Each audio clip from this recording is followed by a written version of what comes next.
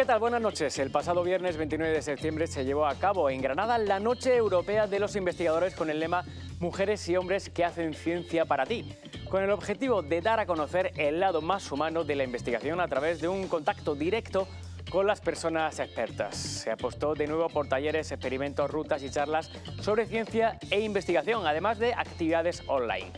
Organizada por, eh, en Granada por la Fundación Descubre, la Universidad de Granada, el y la Fundación Progreso y Salud, se trata del mayor evento de divulgación que se celebra en España y uno de los mayores de Europa, vivido de manera simultánea en más de 400 ciudades de 30 países continentales.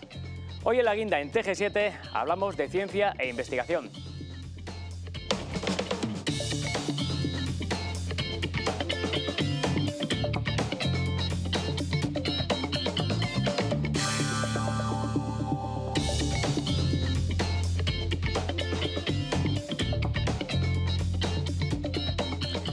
Y lo vamos a hacer con eh, Teresa Cruz, directora de la Fundación Descubre. Teresa, buenas noches, bienvenida. Buenas noches. Margarita Sánchez, vicedirectora de Extensión Universitaria, Patrimonio y Relaciones Institucionales de la Universidad de Granada. Margarita, buenas noches, bienvenida. Buenas noches, Fran. Y Luis García, científico de la Escuela de Estudios Árabes del CSIC, del Consejo Superior de Investigaciones Científicas. Luis, buenas noches, bienvenido. Ah, buenas noches. Bueno, lo primero que me gustaría es que nos dieran a conocer sus respectivas instituciones en relación también con la ciencia y con la investigación. Teresa. ¿En qué consiste? ¿Cuál es la labor que viene desarrollando la Fundación Descubre? Bueno, nosotros somos una fundación que depende de la Consejería de Universidad de la Junta de Andalucía y nuestro objetivo es promover la cultura científica aquí en nuestra tierra, animar a los niños y a las niñas para que se planteen la ciencia como una opción profesional y de formación y en todo caso que les guste y en tercer lugar para que la sociedad entienda, valore y apoye eh, a los científicos, a los investigadores de, de Andalucía. Nacimos en 2010, tenemos la sede aquí en Granada, también tenemos sede en Sevilla. Somos un equipo aparentemente pequeño, pero trabajamos en colaboración con todas las universidades, los centros de investigación y los museos de ciencia de Andalucía. Trabajamos en comunicación, en periodismo científico, tenemos una agencia de noticias, tenemos una red con más de 20 webs especializadas en diferentes áreas de, del conocimiento y trabajamos proyectos, unos de coordinación como la Noche de los Investigadores o la Semana de la Ciencia, y otros más específicos como Cafés con Ciencia, que se hacen en toda Andalucía de manera simultánea, o alguno tan bonito como eh, Ciencia Ciudadana, proyectos de ciencia ciudadana. Y uno de los últimos proyectos con los que hemos trabajado y que nace precisamente de aquí de Granada es un paseo matemático al Andalus, que tanto tiene que ver con alguno de la mesa. Margarita, el Vicerrectorado de Extensión Universitaria, Patrimonio y Relaciones Institucionales, quizás sea uno de los más conocidos, pero no se sabe a ciencia cierta o sea, la, extensión, nunca mejor dicho, de, su funcionamiento. Cuéntenos. Pues mira, el Vicerrectorado de Extensión Universitaria, Patrimonio y Relaciones Institucionales lo que hace es eh, bueno, pues cuidar de todos aquellos aspectos que tienen que ver con la transmisión, sobre todo del conocimiento, que se genera desde la Universidad de Granada. Eh, no solo en, los ámbitos más relacionados con el patrimonio, porque además esa parte del patrimonio lo que hace es cuidar del riquísimo, de casi eh, cinco veces centenario patrimonio de la Universidad de Granada, con nuestros proyectos de conservación, de, restauración, de divulgación, pero sobre todo a través de esos programas de extensión universitaria poner a disposición de la ciudadanía algo tan importante como es el conocimiento científico, que está en la base de lo que es la universidad. La universidad lo que se hace genera conocimiento y transfiere conocimiento a través de la docencia y esa parte tan importante que supone la divulgación científica. Eh, si no hacemos buena divulgación, no estaremos completando el ciclo de la investigación. Así que lo que hacemos desde el vicerrectorado, que además estamos acompañados por, eh, otros centros, en este caso, en, el tema de la, divulgación y de la transferencia, eh, a través también con la unidad, con la unidad de, comunicación científica, que se encarga de hacer todas nuestras notas de prensa. Eh, bueno, prácticamente todos los días hay notas de prensa sobre investigación y también pues, con el propio Vicerrectorado de Investigación y Transferencia, con lo que trabajamos en programas específicos de interés, pues porque sean esos grandes proyectos que tiene la universidad para Granada y que necesitan un tratamiento especial. Así que trabajamos a varias bandas, pero sí que es verdad que es en el Vicerrectorado mismo, en nuestra unidad de cultura científica, donde aglutinamos todas las actividades como esta de la Noche de los Investigadores e Investigadoras, que, bueno, pues que tanto el CSIC como, como, la propia Fundación Descubre hacemos otras muchísimas cosas de divulgación científica a lo largo del año, pero esto sí que parece como es ¿no? el culmen de, del trabajo de, mucho tiempo. Luis, eh, la Escuela de Estudios Árabes del CSIC, ¿qué labor tiene? Bueno, la, Escuela de Estudios Árabes es uno de los cinco institutos que tiene el CSIC en la ciudad de Granada. Es el único dedicado a humanidades y, y además es el más pequeño. Pero no por ser el más pequeño, quizá no sea uno de los que desarrolla una labor más centrada en la propia ciudad de Granada, puesto que nuestro patrimonio islámico es eh, muy sobresaliente tanto a nivel filológico, que son una de las partes que, se investigan en la Escuela de Estudios Árabes, como eh, en lo relativo a la cultura material. Además está situado en uno de los lugares más queridos por los granadinos, en esa casa del Chapiz, en la cuesta del Chapiz, justo enfrente de la Alhambra, y uno de los lugares que, que bueno, que todos las personas que van a visitarlo se quedan encantados y casi nuestros colegas de otros centros, de otros institutos, siempre nos envidian ¿no? prácticamente el lugar que tenemos. 12 ediciones ya de la Noche Europea de la Investigación de los Investigadores y las Investigadoras aquí en Granada. ¿Qué tal ha ido a nivel general, como, como titular, qué tal ha ido la experiencia este año, Teresa, por ejemplo? Yo creo que ha sido mm, la reválida. O sea, llevamos muchos años trabajando, trabajándolo muy bien, pero este año ha sido especialmente bueno tanto en participación de la ciudadanía, que ha sido espectacular la respuesta que ha dado en todas las provincias y especialmente en Granada, como la implicación de, las investigadoras, de los investigadores y el número de actividades. Fíjense que hemos pasado en un solo año de 700 actividades a 1000, en un solo año. Y empezamos allí por 2012 con apenas 100 actividades. O sea que ahí se, se ofrecen muchas actividades cada vez más interesantes el valor que ha tenido respecto a la divulgación la Noche Europea de los Investigadores es que ha sido la primera actividad que hemos hecho todos juntos en toda la comunidad, hemos salido todos a la calle con el mismo aspecto, con la misma camiseta, a la misma hora y contando con un modelo similar de, divulgación y, lo hemos hecho además de manera, de manera coordinada. Entonces, durante estos años, ese esfuerzo por hacerlo cada año mejor y hacerlo tanta gente a la vez, lo que ha permitido es que los investigadores y las investigadoras hayan aprendido muchísimo. De las actividades que se ofertaban en 2012 a las que hay ahora, es que no tiene nada que ver nada que ver. Han aprendido que en la calle hay que hablar para la gente de la calle, que hay que contar cosas en cinco minutos aunque uno tenga recorrido para hacerlo en, horas y meses. Y ese esfuerzo de concentración y de simplificación lo han hecho de una manera ejemplar. Así que yo creo que si destacaría algo es la dedicación que le han puesto y la competencia tan alta que tienen los, científicos, no solo los divulgadores, los investigadores andaluces para hacer comunicación social de la ciencia. Sí, yo creo que además eh, se respiraba un ambiente tan bonito, ¿verdad? Era un, ambiente realmente festivo, ¿no? Y yo me iba cruzando con pues, investigadores, con investigadoras, con padres y madres que llevaban a, las criaturas a ver los distintos stands, el, el Kid Corner, que estaba, ha estado siempre lleno de actividades. Y una de las cosas que, bueno, me decían las madres, esto tendría que durar más días. Y digo, no sabes lo que estás diciendo porque no sabes el trabajo que tiene detrás, ¿verdad, Teresa? O sea, una cosa tremenda, ¿no? Porque, claro, estaban tan felices, había un ambiente muy festivo en la calle, ¿no?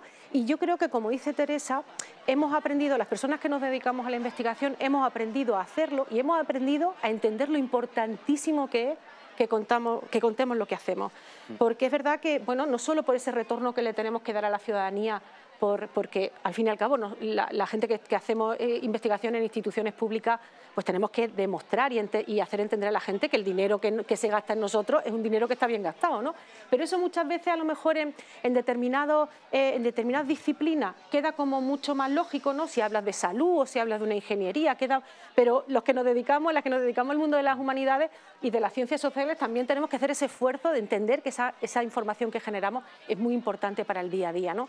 Y por tanto, pues yo creo que ese, ese aprendizaje de 12 ediciones que se han ido realizando se nota cada vez más en, la calle, en los investigadores, la investigadora, la gente ya sabe a lo que va cuando va al paseo del salón, ya sabe lo que se va a encontrar.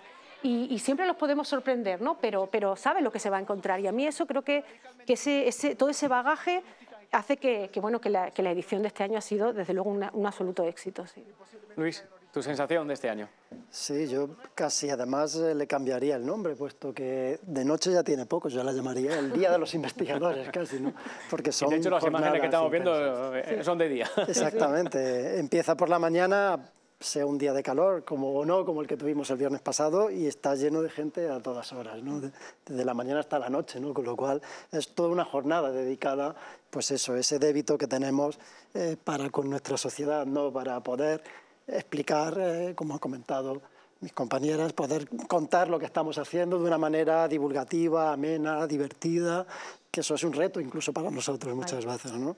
Saber cómo se puede trasladar eso a la sociedad, a los distintos estratos de, de la sociedad. Sí, hablando de, comunicar y de transmitir, se ha celebrado además en esta edición la Noche de las Aulas. Eh, se le ha querido dar especial énfasis a esta cuestión. ¿En qué ha consistido? Pues esta ha sido una cuestión que nos ha planteado la Comisión Europea. Viendo lo bien que salía la Noche de los Investigadores, dijo, pues además de la noche, vamos por el día y durante el año vamos a ir preparando más actividades, una manera de extender esa actividad. O sea que hay que contestarle a la señora que estaba tan interesada que sí, que vamos a tener actividades durante, no tantas, ni tan concentradas, ni tan vistosas, pero sí que vamos a tener actividades. Y es una manera también de poner el acento en la importancia de invertir en talento, en el talento que, que, que van a desarrollar los más jóvenes, porque hay investigaciones que nos dicen que si un niño está dos veces en una actividad de divulgación, ya podemos influir en la decisión que tome sobre si se dedica a una línea o a otra de, la formación, si va más a, una línea de investigación, más experimental, si va a una línea más de humanidades. Esa decisión se toma muy joven y para que esa decisión también eh, pueda estar, eh, sea más libre, hay que darles la oportunidad a los niños de que valoren la ciencia y la tecnología. O sea, que vayan una vez a la noche de los investigadores es muy importante. Y si van dos, sabemos que ya estamos haciendo las cosas bien. Y además que este año, eh, precisamente eso, esas líneas de investigación que la Unión Europea ha trazado tienen que ver con los grandes problemas, ¿no? que también está muy bien acercar cuáles son esos grandes problemas relacionados con la sostenibilidad, con la salud, con, el cambio climático, ¿no? pues ha dicho, vamos a hacer especial énfasis en trabajar en esas líneas para que todo el mundo entienda que la respuesta a esos grandes problemas está en la ciencia, está en el conocimiento. No hay más misterio. Mientras más sepamos, más fácilmente y desde más perspectivas distintas, más fácilmente podremos solucionar los problemas que, tenemos. ¿no? Y eso también es muy importante y también ha sido un reconocimiento ¿no? para, para la Noche de los Investigadores. Pues si les parece, vamos a, vamos a comenzar a conocer concretamente lo que cada institución ha preparado para esta noche del viernes, lo que preparó para esta noche del viernes, empezando Luis por la Escuela de Estudios Árabes del CSIC. ¿Qué preparó? ¿Qué desarrolló en este viernes tan mágico y tan especial? Bueno, desarrolló como viene realizando tanto una serie de talleres por la mañana, en la jornada de la, mañana, sobre todo muy orientado a, colegios que pudieran que habían además ya prácticamente pues, eh, escogido algunas de estas, de estas actividades, eh, muy relacionadas con, pues, eh, con la caligrafía árabe, con mosaicos que pudieran estar vinculados con esos dibujos alambreños que todos tenemos en mente y en el que los niños pues, de una forma lúdica, utilizando legos, utilizando pequeñas piezas, pudieran componer elementos que finalmente les hiciera recapacitar en la importancia que tuvo la lengua árabe en Granada en concreto, como es un valor patrimonial que seguimos teniendo en la ciudad, los manuscritos que se conservan en muchas de nuestras instituciones, entre ellas pues en la, Escuela de Estudios Árabes conservamos algunos manuscritos árabes muy importantes y algunos de los talleres van en esa, en esa dirección, en aprender a, reconocerlos, jugar con ellos, recomponer un puzzle, elementos que, que, todos tenemos en nuestro acervo y que, que, podemos jugar en cualquier momento con ellos y sin darnos cuenta nos estamos imbuyendo en, esa, en esas eh, tareas más relacionadas con la investigación. Por supuesto, también se trataron algunas personas, personas y personajes relevantes vinculados a la cultura árabe y una serie de, charlas por la tarde entre las cuales pues tampoco se dejaba de lado esos, elementos de, sostenibilidad que, están sobre la mesa actualmente. En concreto, pues aprovechamos lo que nos aporta la arquitectura islámica para aprender eh, de ella no solamente a nivel estético, sino a nivel funcional y a nivel de cómo se enfrentan los problemas del clima. Hay mucho que aprender detrás de, esta arquitectura si volvemos a extraer de los conceptos que los conceptos que se utilizaron en la Edad Media de una manera empírica para asentarse en lugares donde podía hacer mucho calor o mucho frío, aprovechando los recursos naturales. ¿no? Con lo cual también hubo charlas orientadas eh, en ese sentido, ¿no? aprender de esa arquitectura de nuestros ancestros y cómo podemos extraer de ella una serie de conocimientos que podemos aplicar en, nuestra forma de vivir actual. Uno de, los ejemplos más espectaculares que yo particularmente conozco es, cómo, cómo, lograron, cómo consiguieron los árabes subir el agua a la Alhambra. A una colina que estaba alta, como, como, Así es. como teniendo una ingeniería tremenda para la época, puntera a nivel, a nivel mundial en aquella época, y yo pienso que posteriormente también, ¿cómo lo consiguieron? No? Fue espectacular. Bueno, más que subirla, la dejaron llegar, la Bueno, dejaron llegar, ya prácticamente la dejaron caer casi, ¿no? Hasta la Alhambra, pero sí fue un, un- una gran, pues, un gran, no avance, porque todo eso ya se conocía, pero fue el primer paso para colonizar esa colina que de otra forma no se podría haber establecido y crear ese paraíso en la tierra que todos conocemos aún en nuestros días, ¿no? Y no solamente eso, sino que el agua es un elemento eh, primordial en todas estas cuestiones bioclimáticas, ¿no? Para, mm, creas eh, un entorno donde se puede vivir y donde puedes mm, finalmente construir eh, edificios que son de una manera, podemos considerarlas sostenibles. ¿no?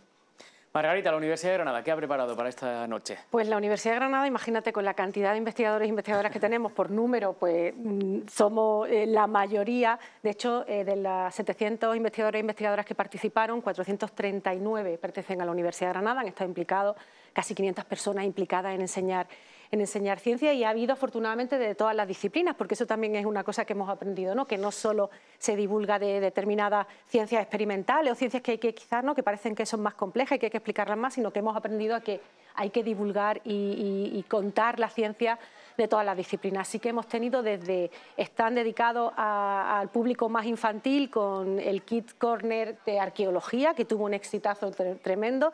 También desde el propio, nosotros tenemos dentro del vicerrectorado también eh, una sección que es UGR Educa, que bueno, pues durante todo el año lo que hace es que programa actividades concretas que pueden implicar música, pueden implicar eh, artes visuales, pueden, para contar la ciencia también, para, eh, o, cuentos, y bueno, también tuvieron su, propio stand, eh, uno de matemáticas, que además también hizo furor, la verdad es que los stands para, para niños y niñas tuvieron un éxito tremendo, y luego pues pasamos por todas las disciplinas, desde las lenguas, con el laboratorio de, de idioma, hasta pues la, toda la parte relacionada con la salud, con, la ingeniería, con esa explicación que hay que dar de la ingeniería, con los fármacos, se, con la nutrición. Realmente hubo un- una gran variedad de stands de la universidad en la que se estuvieran haciendo todo el tiempo, incluso algunas veces los stands se utilizaban eh, un tiempo por un grupo de investigación y al poco rato por otro grupo de investigación, ¿no? porque no cabían tanta gente que quería, que quería participar, que es una cosa también muy relevante. ¿no? O nuestro programa ARCUS, que es el, el- gran programa internacional que tenemos con otras eh, ocho universidades europeas, pues también ahí se se estuvo difundiendo toda la ciencia, sobre todo en, estos meses, además que estamos hablando tanto de Europa, pues también se, pudo comentar en qué, en qué consiste. ¿no? Y yo quisiera hacer mención a tres cosas que me parecen importantes. Lo primero es que tengo que hacer, tengo que hacer un, recuerdo especial para nuestros campus de Ceuta y Melilla, que, que son también Universidad de Granada y que también participaron en, en Ceuta hubo 120 eh, investigadores e investigadoras participando y en, y en Melilla unos 70. Y una cosa muy importante es que tuvimos casi 140 voluntarios y voluntarias que sostienen sin duda eh, todo, todo el, el elemento. Sin, ellos y sin ellas sería muy poco probable sostener una actividad de este tipo porque están pendientes de todo, de si falta una silla, de si sobra, de si alguien se ha quedado sin material, de repartir las cosas. O sea, es que es fundamental ese trabajo. O sea, no solo son esas personas, esos, esos investigadores, esas investigadoras que se ponen delante del público, sino mucha gente que hay detrás que está también sosteniendo la actividad y que también merece la pena que, que lo recordemos. La Fundación Descubre, Teresa, ¿qué preparó para, para la Nosotros noche? somos un poco el capitán araña, porque somos los líderes del proyecto. Lideramos el proyecto andaluz, de manera que nuestra, nuestra función es diseñar una buena propuesta, marcar una estrategia, eh, incorporar la- las visiones de cada uno de los integrantes de este consorcio tan grande que estamos, las entidades que están organizando la Noche de los Investigadores, fíjese, son las nueve universidades públicas andaluzas, digo nueve porque en Sevilla hay dos, Pablo de la Vida y la, y la de Sevilla, la Fundación Progreso y Salud, y el Jardín Botánico de Córdoba, que tiene un centro de investigación junto con nosotros. Entre todos tenemos que decidir cada año qué vamos a hacer y cómo vamos a mejorarlo con respecto al año anterior. Porque con la propuesta que hagamos, que mientras se estaban ya ultimando la Noche de los Investigadores del 23, nosotros estamos ya preparando la del 24 y 25. Tenemos que hacerlo muy bien porque competimos con toda Europa competimos con todos los países de, la Unión Europea y tenemos que conseguir que nuestra propuesta sea más atractiva para que nos den financiación. Conseguir la financiación. El, último año conseguimos en torno a los 200.000 euros para dos años, 100.000 para, para cada año que distribuimos entre toda, entre toda Andalucía. Así que eso es un papel fundamental. Otro papel fundamental es garantizar la coherencia entre todo lo que se hace, facilitar, evitar que si hay problemas en alguna, en alguna ciudad que pueden ocurrir, eh, ayudar a que se encuentren soluciones eh, conjuntas y evaluar. Ahora mismo estamos en pleno proceso de evaluación. La, Comisión Europea nos da tres días para darle resultados y estamos justamente ahora preparándolos y mantener la página web en pleno funcionamiento porque estos, estos días hay como 50.000 visitas a la página web. Es muchísimo. Mantener el nivel de actividad de, eh, eh, online para que las personas que no puedan acudir tengan recursos para, para, disfrutar de la noche. O sea que nosotros lo que hacemos es facilitar que los demás lo hagan bien, requete bien como lo están haciendo.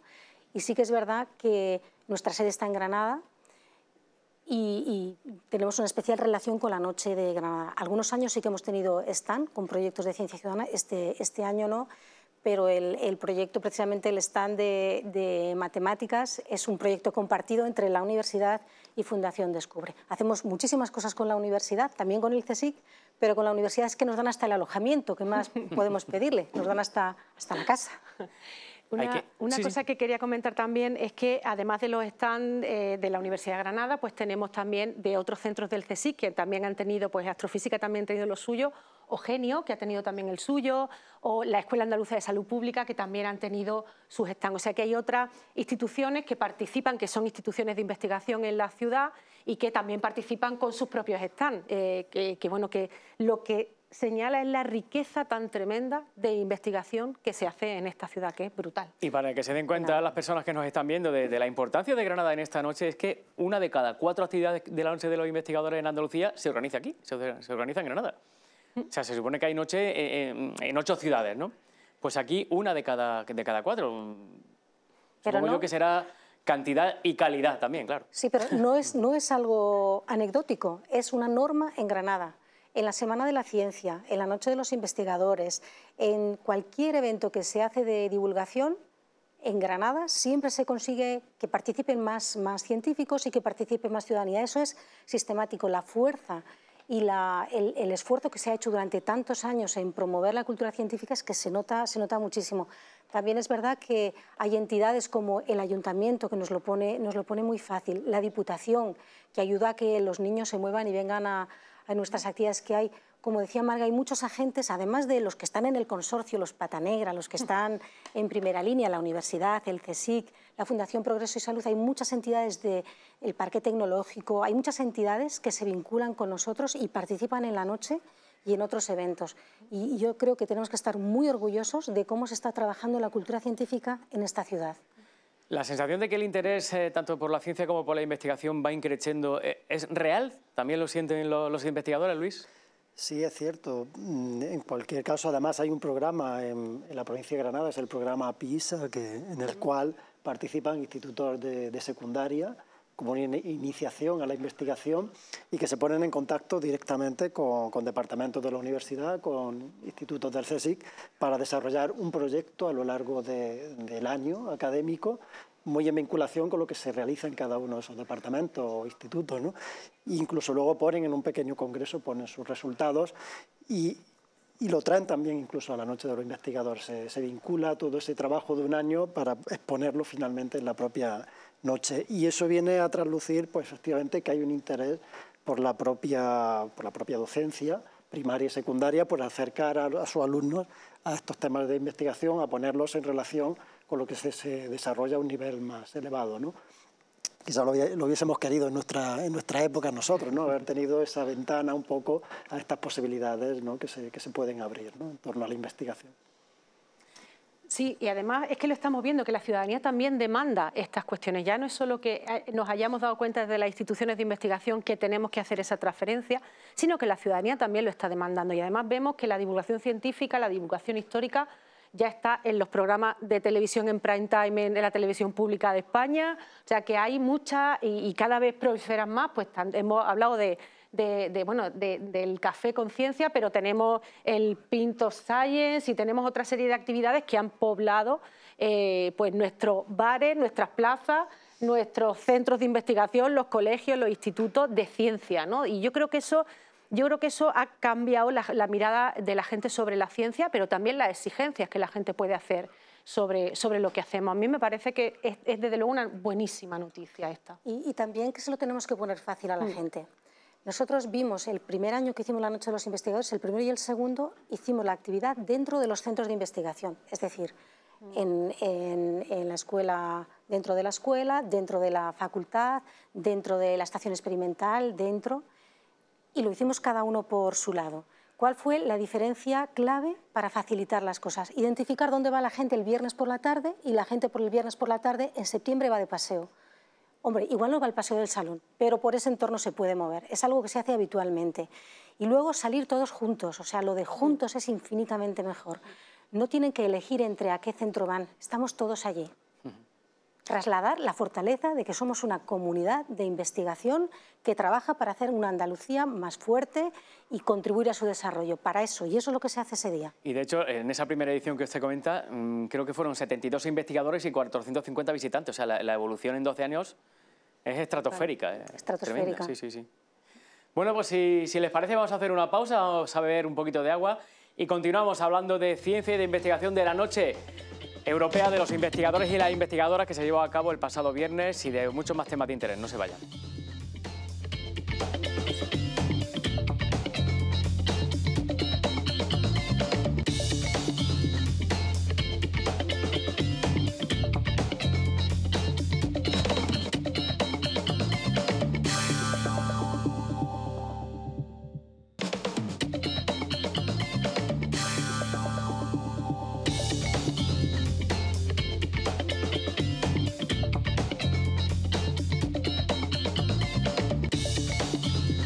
Continuamos en nuestra guinda hablando de la Noche Europea de los Investigadores y las Investigadoras que se llevó a cabo el viernes 29 de septiembre y lo hacemos con Teresa Cruz, directora de la Fundación Descubre, con Margarita Sánchez, vicerrectora de Extensión Universitaria, Patrimonio y Relaciones Institucionales de la Universidad de Granada y Luis García, científico de la Escuela de Estudios Árabes del CSIC.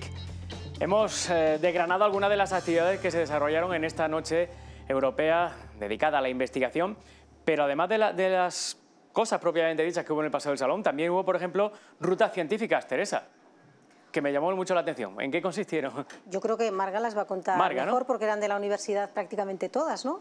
Bueno, había rutas relacionadas con la geometría y, las matemáticas que se hicieron y algunas también relacionadas con la geología, que es verdad que llaman siempre muchísimo la atención de, y que además se llenan muy pronto, ¿eh? se, abren unos cupos y se llenan muy pronto esos grupos. Y además es que tuvimos hasta actividades durante la rueda de prensa de presentación también hubo allí, estuvieron construyendo puentes, estuvieron haciendo cosas, o sea, que, son cuestiones que se, que se alargan en el, en, el, en el, tiempo, no solo el momento de la noche, sino que pues, por las mañanas rutas, por al día siguiente también rutas que tienen que ver con, con eso, con, con cómo acercamos en detalle, por ejemplo, la de geología, la de la geometría, es como andando por la ciudad, paseando por la ciudad, podemos conocer cosas distintas que a lo mejor pasan desapercibidas si no hay alguien que, que lo sabe y te lo explica. ¿no? Entonces, pues sí, pues son rutas que, que además digo que siempre, que siempre funcionan muy bien. Y creo que también hubo actividades virtuales. Ahí está. ¿Puedes comentar alguna? Ahí, está. Eso, eso ella. Bueno, hubo, eh, hay muchas entrevistas que hemos ido preparando con investigadores de Europa, en un, porque colaboramos con, con, otras noches de los investigadores de Reino Unido, de Malta, en fin, con un grupo de, de países y hacemos entrevistas que ese día se emiten. También tenemos actividades como pequeños, pequeños talleres, pequeñas charlas hay una, oferta que se viene acumulando de años anteriores y una específica que se, que se incorpora cada año.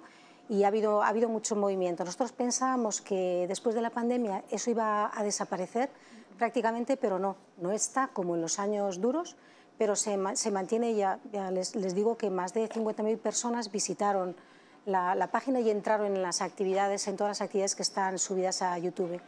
¿Y cómo fueron esas interacciones con otras ciudades? También supongo que a nivel internacional, como nos está comentando.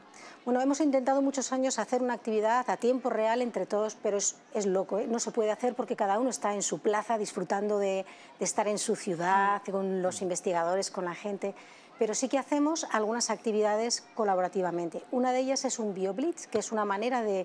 Eh, la ciudadanía sale con los investigadores a un, espacio, a un espacio natural cerca de la ciudad o dentro de la ciudad y van identificando especies que hay, botánicas, identifican animales, ecosistemas, y van registrándolos en unas aplicaciones móviles que están preparadas para, esto. Esto se llama BioBlitz y lo lidera habitualmente la Universidad de Almería. Y es un proyecto que funciona muy bien y se hace en ocho, países europeos, que es con los que nosotros tenemos la colaboración.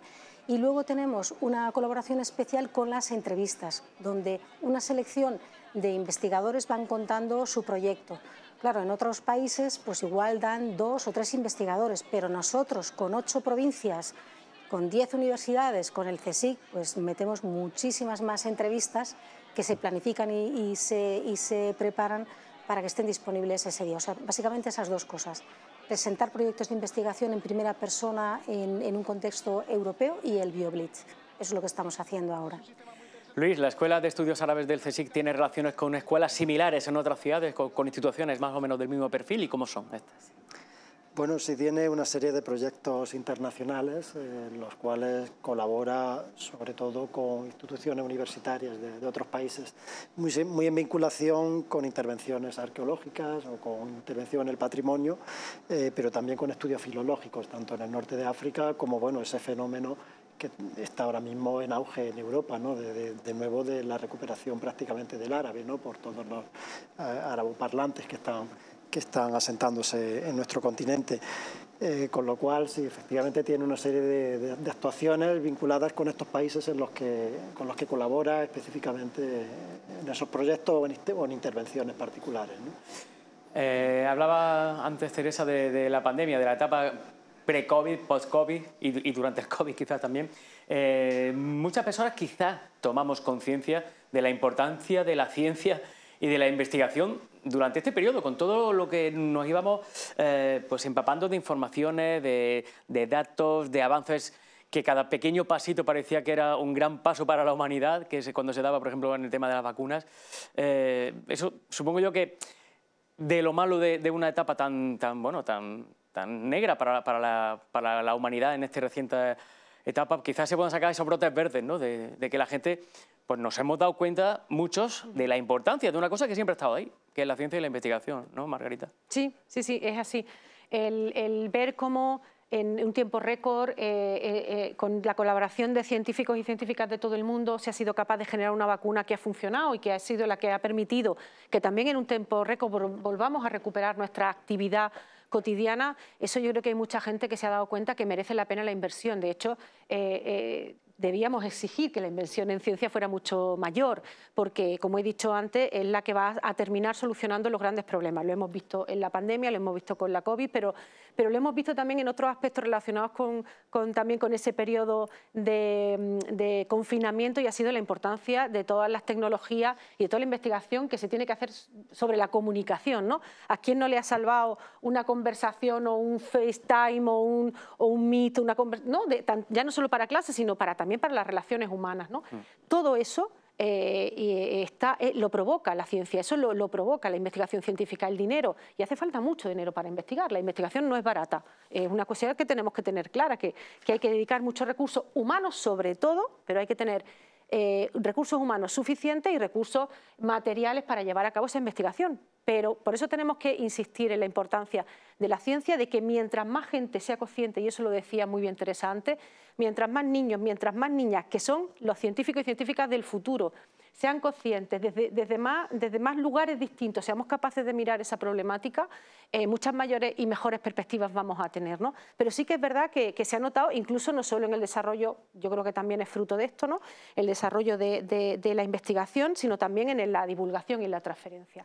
Y, yo creo que eso es muy importante. Y esos modelos híbridos que pensábamos que, que, no iban, o sea, los modelos online que se transformaron en híbridos y pensábamos que no se iban a quedar, sí se han quedado, porque mm, suponen en muchas ocasiones repositorios de información fundamental que la gente, a la que la gente puede acceder en cualquier momento. Y, eso también hace que, la, que, nosotros, conferencias de divulgación científica que hemos programado y que a lo mejor tenían unas visualizaciones en ese momento de 100 o 200 personas y que mira un mes después y tiene 5.000 visitas. Bueno, pues esos son repositorios eh, también muy importantes y que hemos aprendido a hacerlo, desgraciadamente, en una época de confinamiento, pero que seguimos utilizando hoy día y hemos aprendido también a, que lo presencial está muy bien, una noche, la noche europea es que es presencial o no es, porque ese espíritu que se vivía allí es fundamental, pero, podemos utilizar otros recursos también para, acercar la ciencia a la gente que no se pueda desplazar porque esté lejos, porque tenga cualquier tipo de, situación y que, también puede acercarse a ese conocimiento. ¿no? Y de hecho la Noche Europea de, los Investigadores ha tenido atención especial en las misiones Horizonte Europa, el cáncer, la adaptación al cambio climático, el agua y los océanos, las ciudades inteligentes y climáticamente neutras y la salud del suelo y los alimentos. Todo importantísimo para la humanidad, Teresa. Estamos hablando de cuestiones básicas. Claro, la Comisión Europea plantea hacer actividades como esta para que la, la sociedad entienda que la investigación viene a solucionar problemas que tenemos encima. Algunos que no los hemos visto y pueden llegar y hay que estar en previsión y otros que los tenemos ya encima. Por eso para todos los centros de investigación, para las universidades, es muy importante contar lo que están haciendo, porque hay veces que una investigación para una persona que no está dentro de, de, del ámbito piensa que está muy alejado del problema, pero es que hay ciencia básica que, que, aparentemente no tiene que ver con el problema que se quiere solucionar y que es determinante que se avance ahí. Entonces es un momento clave para reconocer el valor de la ciencia básica y para reconocer que muchas veces proyectos que han estado durante años, que estaban en laboratorios que nadie sabía que estaban haciendo, puede ser la clave para cambiarnos la vida y desde luego para salvarnos la vida. Porque como todos sabemos, el planeta no está en cuestión, lo que está en cuestión es la vida de, las, de los seres humanos.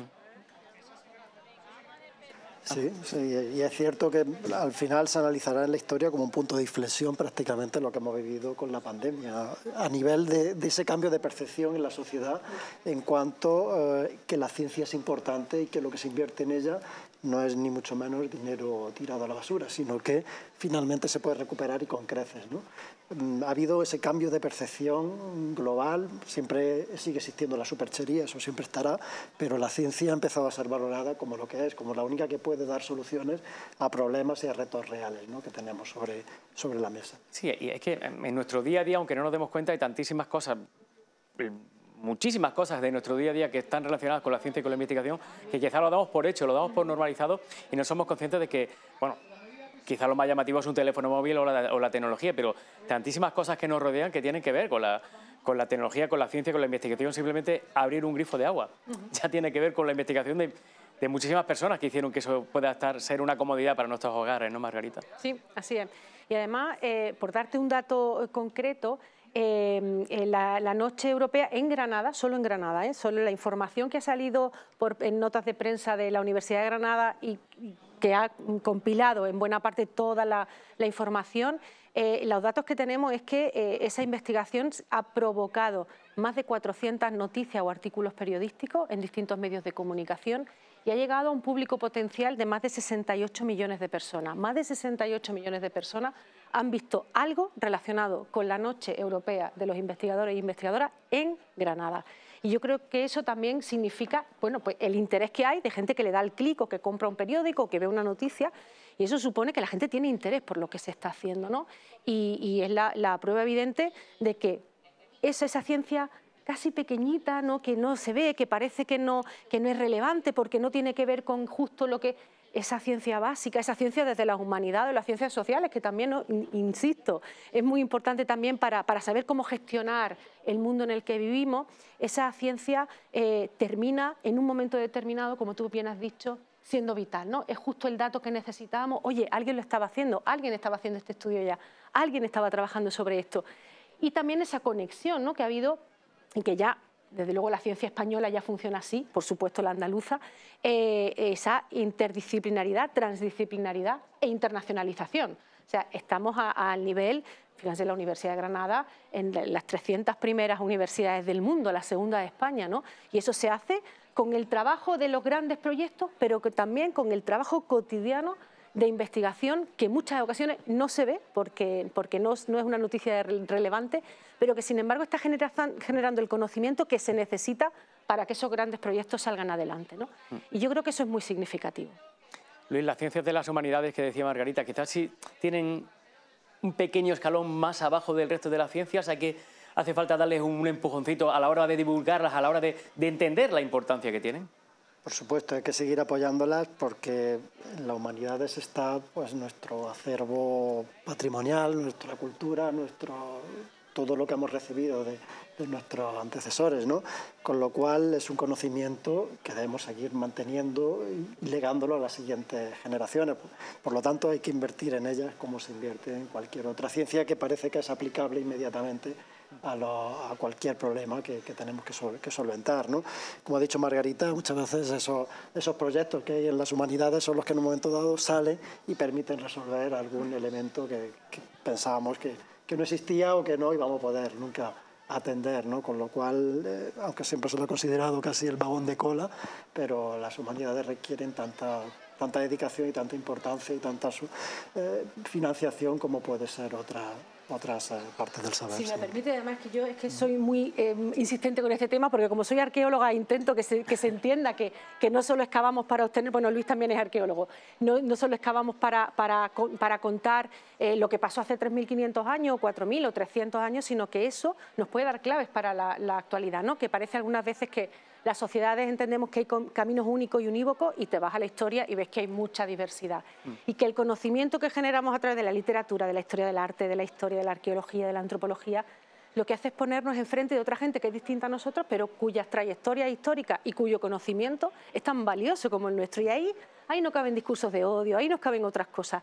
Y por eso las humanidades que tenemos también una investigación muy determinada, con un método científico bien clarificado, cada una distinto al de las experimentales, pero también bien asentado y con muchos años de trayectoria, tenemos que convencernos. Yo creo que no ha sido tanto un problema externo, sino también, Luis, no sé si coincidirás conmigo, que ha sido un problema interno de que parecía que como contamos una historia, pues no hay que explicar nada más, porque te estoy contando lo que hay, ¿no? Pues no, hay que contar por qué podemos contar esa historia, cómo accedemos a ese conocimiento, ¿no?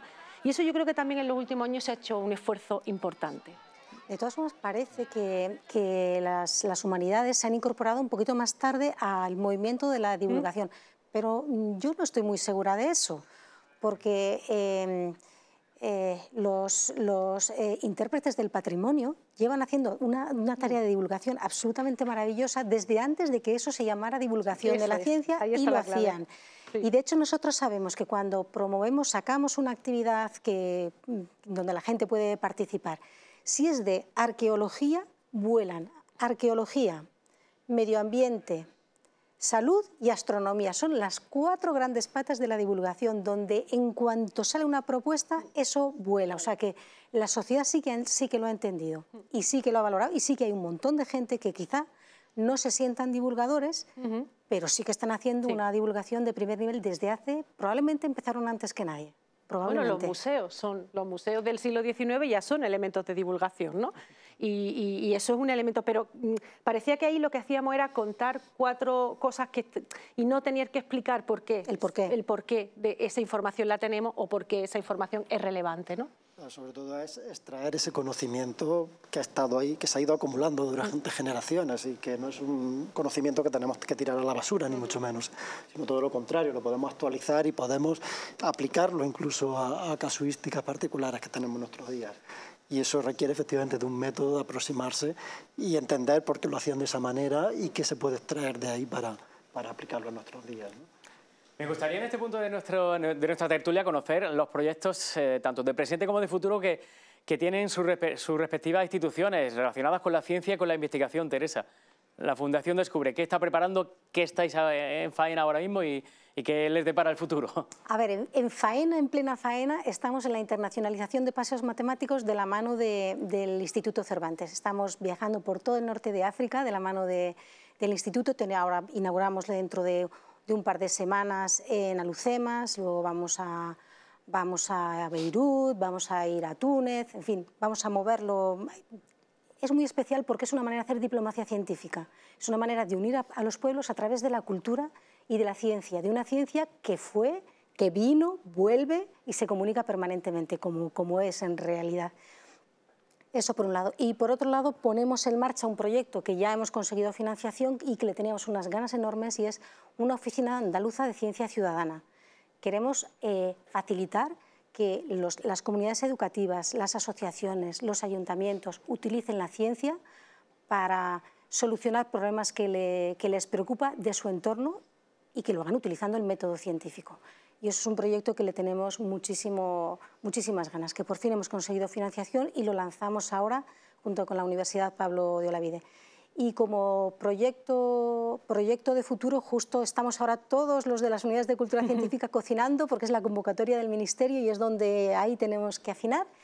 Y tenemos un proyecto que se llama Ciencia al Fresquito, que lleva ciencia a municipios de menos de 50.000 habitantes o a eh, colectivos con necesidades especiales y especialmente alejados de la ciencia durante el verano y queremos extenderlo durante entre ciencia al fresquito y ciencia fresquita para, para el invierno haremos los 365 días. Sé que nuestra apuesta es extender un proyecto a lo largo de todo el año, avanzar en diplomacia científica con paseos matemáticos y por otra parte lanzar y cuidar y mimar una oficina de ciencia ciudadana de la que seguro van a oír hablar en los próximos años.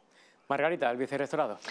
Pues ahora, una vez terminada la Noche Europea de los Investigadores y las Investigadoras, empezamos con nuestro ciclo de actividades que lo tenemos muy bien pautado. Vamos a empezar ya también con los proyectos PISA, con, con centros de secundaria. Vamos a empezar también con, bueno, con, prepararemos la, Semana de la Ciencia, el Día de la Niña y la Mujer en la Ciencia. Eh, luego tenemos eh, otra, otra serie de actividades que van poblando. Prácticamente no tenemos un mes en los que no hagamos algo de divulgación científica a nivel de actividades. Evidentemente, pues igual todas la, seguiremos, nuestra oficina de comunicación científica seguirá con las notas de prensa y con esa vamos a empezar a trabajar también desde la oficina, se va a empezar a trabajar otra vez con, programas que, se habían quedado de, contar la ciencia que, que en los últimos años se habían quedado un poquito más parados, ahora los vamos a retomar otra vez.